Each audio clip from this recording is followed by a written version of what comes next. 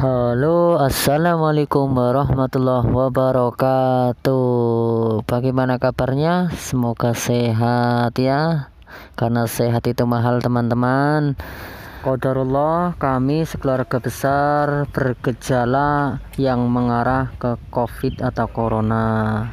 Kemudian kita ambil langkah cepat dengan melakukan isoman mandiri di rumah. Isoman hari ke 8 Dede dulu seluruh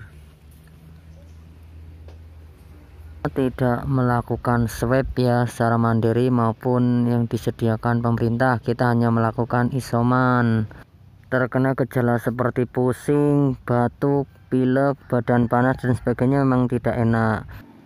Gejalanya berbeda-beda saya dengan istri juga berbeda kemudian bapak ibu juga berbeda Alhamdulillah istri sudah vaksin dua kali jadi agak mendingan ya. Kemudian untuk bapak itu sering muntah kemudian ya pusing sama lah dan sebagainya tetapi muntah ya.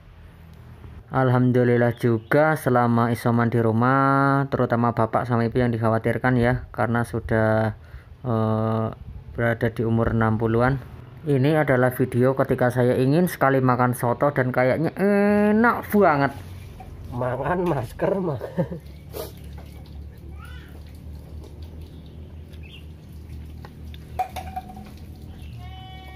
senajan ora ora ora ono rasane mangan yo tetep mangan. Rasane gur pedes sing rada krasane.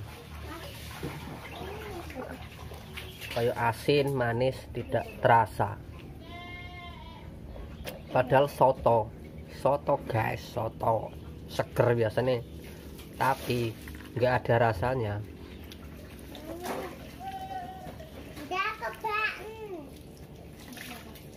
Yang penting makan Selain makan kita juga konsumsi buah, kemudian sedikit vitamin yang juga eh, bantuan dari makanan dari tetangga yang peduli kepada kita. Ah, terima kasih yang tidak bisa disebutkan satu per satu. Terima kasih banyak. Semoga kebaikan panjenengan semua dibalas oleh Allah Subhanahu wa taala dengan yang lebih baik tentunya. Eh, Video-video ini saya ambil ketika kami sekeluarga melakukan DD atau berjemur di belakang rumah.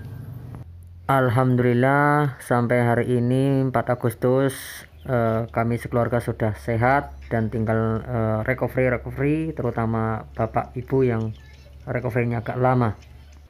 Pesan saya kepada teman-teman, mari kita tetap menjaga iman dan imun kita agar tetap sehat, agar tetap kuat.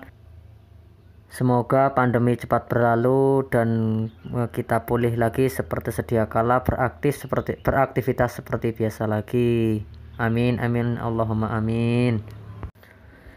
Terima kasih sudah menonton video ini. Semoga bermanfaat bagi teman-teman untuk selalu berhati-hati, selalu menjaga kesehatannya agar tetap sehat karena sehat sekali lagi itu mahal ya mas bro mbak bro. Uh, jangan lupa uh, subscribe channel ini. Semoga bermanfaat. Amin